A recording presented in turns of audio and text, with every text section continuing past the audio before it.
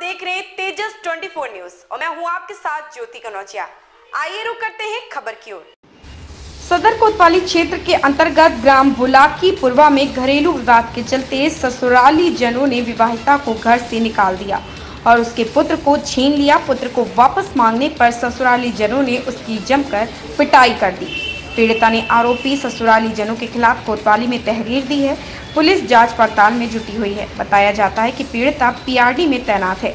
ग्राम बुलाकी पूर्वा निवासी पूनम देवी, पत्नी कुलदीप सिंह, जो कि पीआरडी में तैनात है, इन दिनों बाद तिरवा कोतवाली में कार्यरत है। पूनम देवी का परिवारिक जनों से कुछ विवाद चल रहा था, जिसके चलते उसके ससुर निर्णय लाल सास प्रेमवती, देवर हिमांशु एवं अमित समेत ननंद उमा ने पीड़िता को घर से निकाल दिया और उसके आठ वर्षीय पुत्र को उससे छीन लिया।